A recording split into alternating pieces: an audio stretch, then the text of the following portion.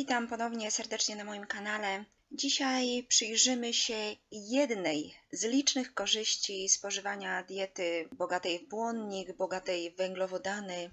Jednej z bardzo licznych korzyści. Nie jest tylko tak, że dieta pozbawiona błonnika jest tylko pozbawiona tychże korzyści, ale także niesie ogromne inne zagrożenia, które także omówię w innym odcinku.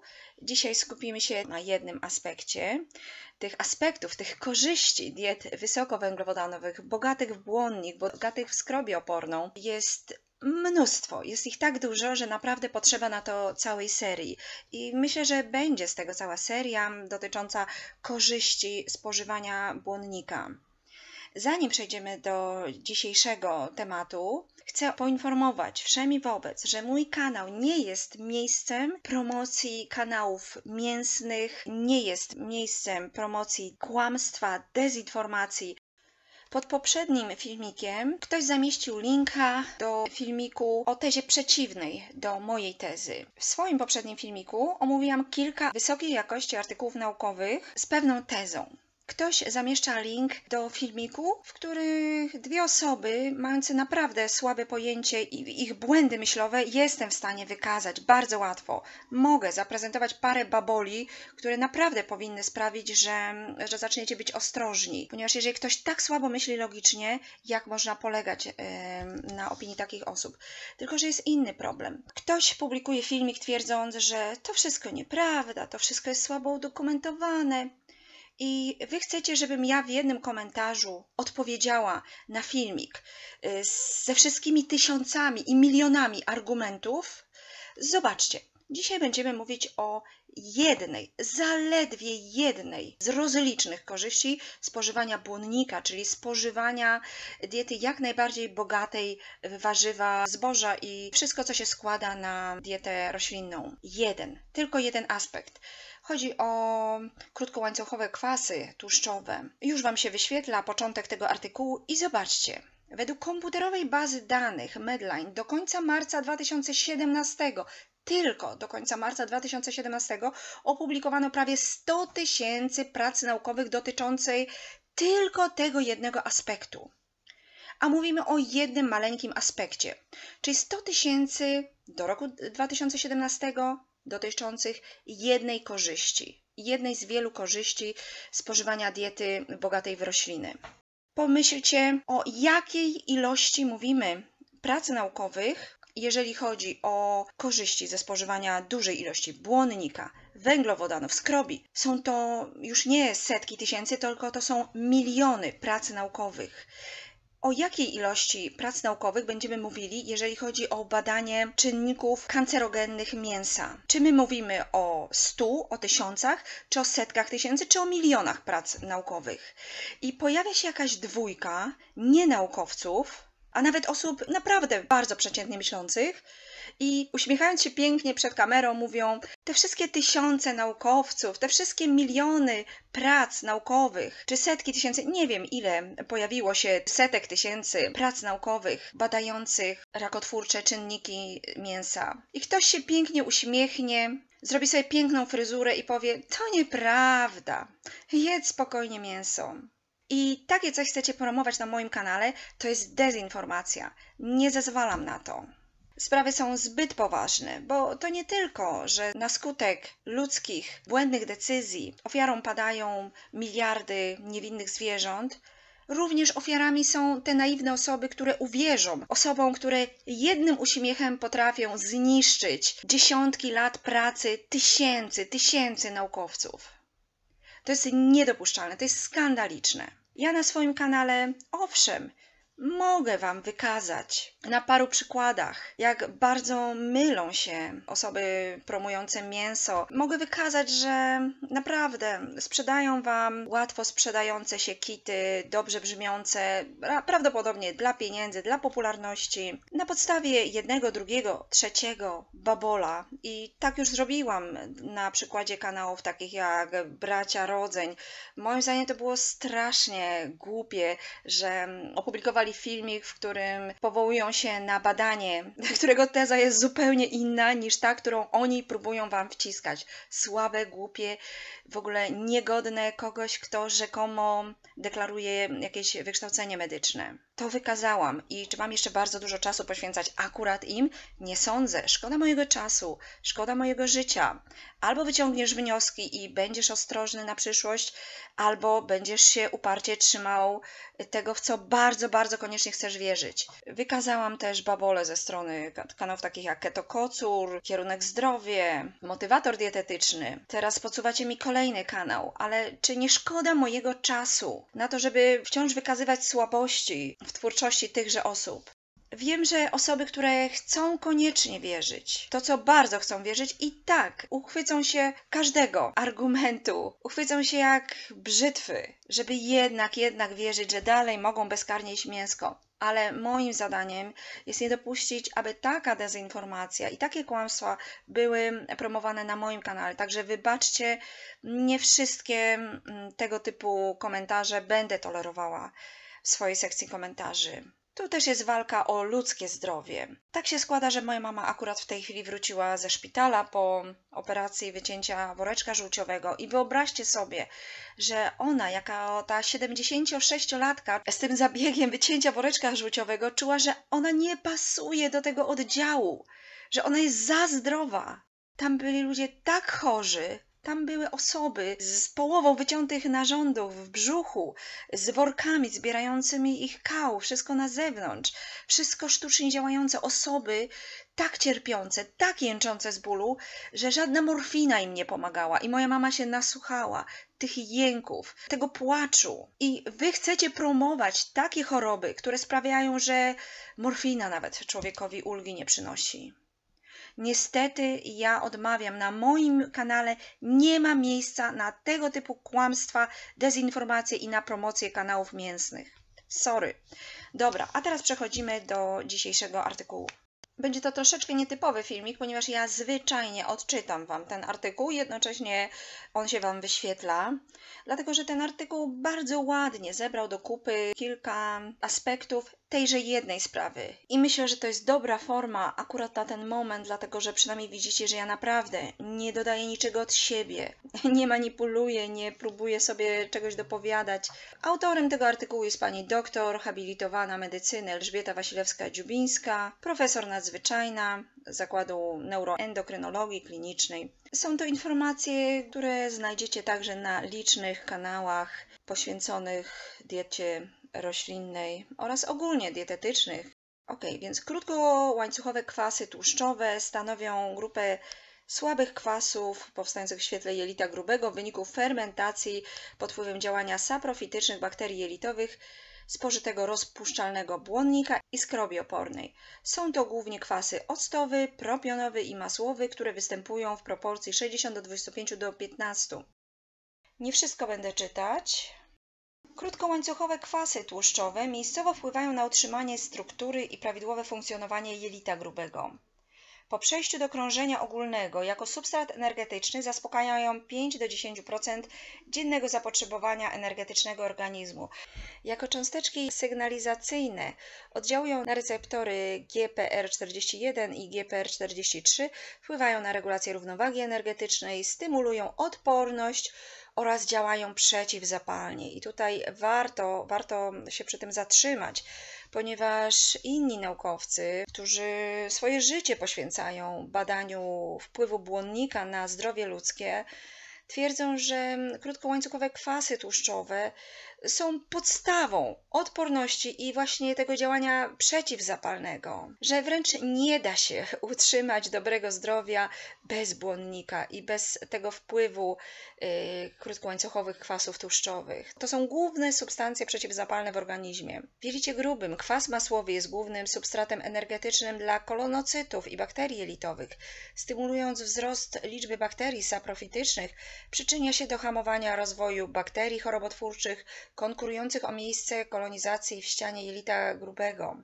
Kwas masłowy pobudza wydzielanie śluzu i wywiera efekt troficzny, dzięki czemu stymuluje regenerację nabłonka jelitowego.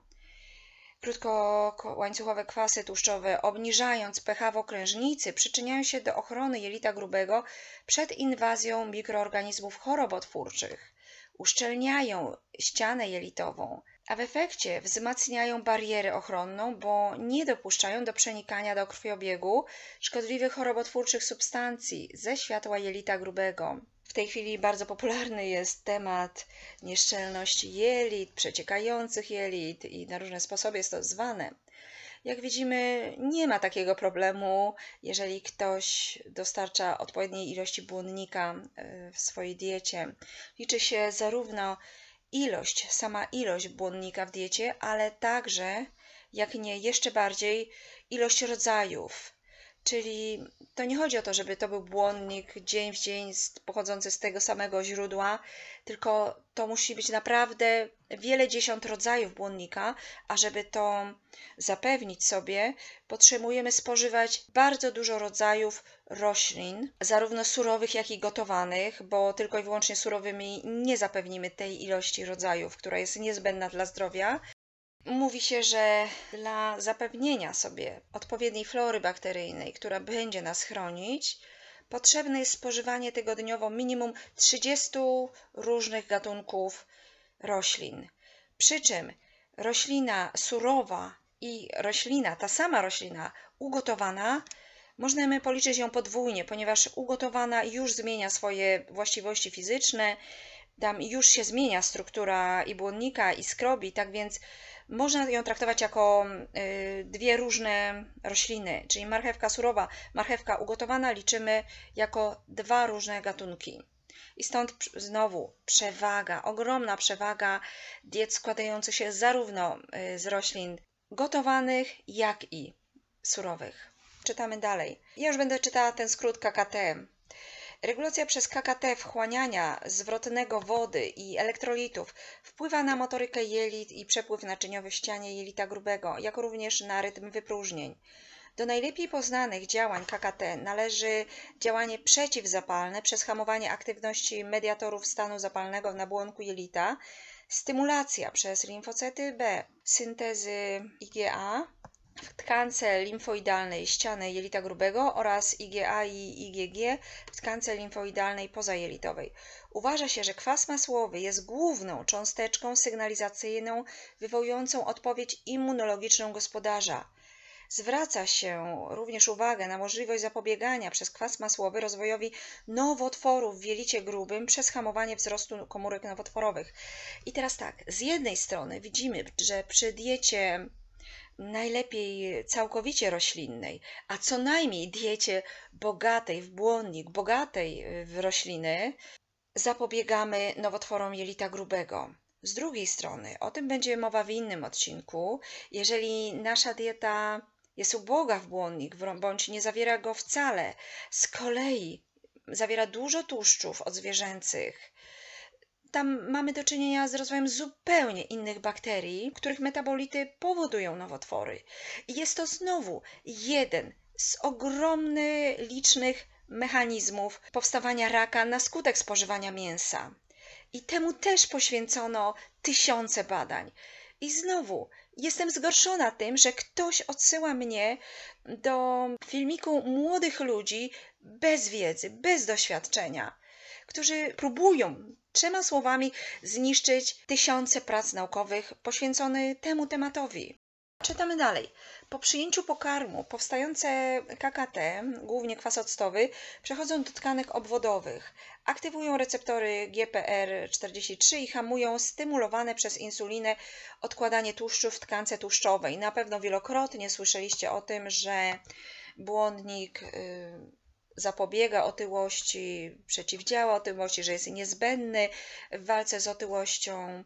I jak widzimy, to nie tylko chodzi o to, że błonnik przyspiesza motorykę jelit, przez co osoby anorektyczne wierzą, że może, może nie wchłoną się wszystkie kalorie. To w ogóle nie chodzi o to. Widzimy, że tu chodzi o coś zupełnie, o, o także o zupełnie inne mechanizmy. Przez podniesienie tkankowej wrażliwości na insulinę, czyli przeciwdziałanie insulinooporności, wpływają na metabolizm wątroby i mięśni szkieletowych, zwiększając wydatek energetyczny.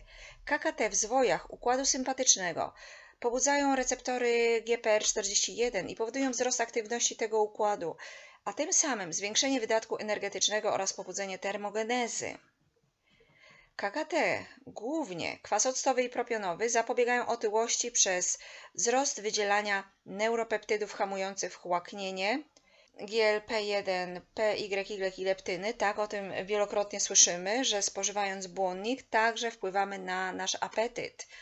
Są osoby, które przesadzają z tym twierdzeniem, że dieta roślinna odchudza. Jak widzimy, owszem, istnieją mechanizmy, które sprawiają, że faktycznie dieta roślinna, dieta przede wszystkim wysokobłonnikowa, jak najbardziej zapobiega otyłości, czy też przeciwdziała otyłości i faktycznie, statystycznie Weganie są szczuplejsi od omniworów, y, osób spożywających także mięso, albo głównie bazujących na tłuszczach, y, tłuszczach zwierzęcych i białku zwierzęcym, statystycznie.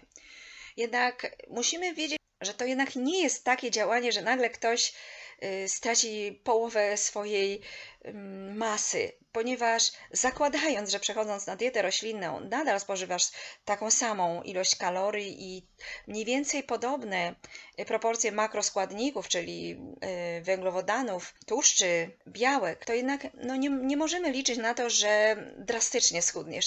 Ale co na pewno możemy sobie poprawić, niezależnie od tego, czy my stracimy parę kilogramów, czy wcale nie stracimy żadnych kilogramów, na pewno poprawimy sobie tolerancję glukozy. Na pewno będziemy przeciwdziałać cukrzycy typu drugiego, na pewno zapobiegniemy insulinooporności i właśnie to jest niezależne od tego, czy utracimy wagę, czy nie. I takich badań też było dużo.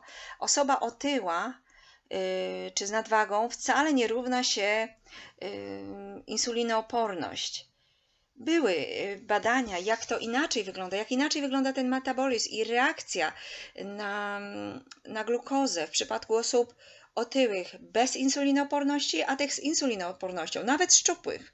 To są zupełnie, y, zupełnie inne reakcje.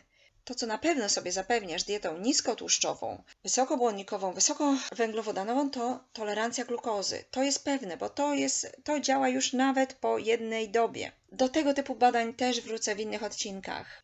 Czytając dalej, zapewnienie możliwości fizjologicznego oddziaływania KKT wymaga dostarczenia organizmowi wraz ze spożytym pokarmem odpowiedniej ilości błonnika rozpuszczalnego i skrobi opornej oraz zachowania prawidłowej flory bakteryjnej w jelicie grubym, no to to jedno z drugiego wynika.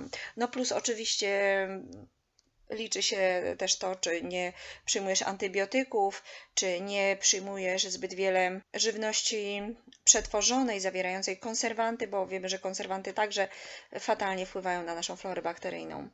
Według zaleceń WHO właściwa ilość błonnika w diecie dla osoby dorosłej wynosi 25 do 40 gramów na dobę Obniżona podaż błonnika prowadzi do zmniejszenia syntezy KKT, a w konsekwencji do zachwiania równowagi immunologicznej i do rozwoju chorób cywilizacyjnych, otyłości, zespołu metabolicznego, cukrzycy typu drugiego, nowotworów dolnego odcinka przewodu pokarmowego.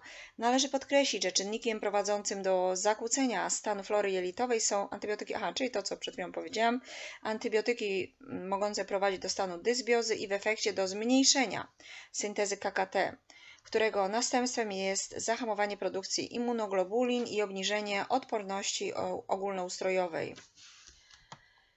W ramach szeroko rozumianej profilaktyki konieczne jest wprowadzenie do diety produktów bogatych w błonnik rozpuszczalny i skrobię oporną, takich jak produkty pełnoziarniste, nieprzetworzone płatki zbożowe, ciemne makarony, grube kasze, brązowy ryż, rośliny strączkowe, jarzyny, owoce surowe i suszone, które przyczyniają się do zachowania prawidłowego składu mikroflory jelitowej i pobudzenia produkcji KKT.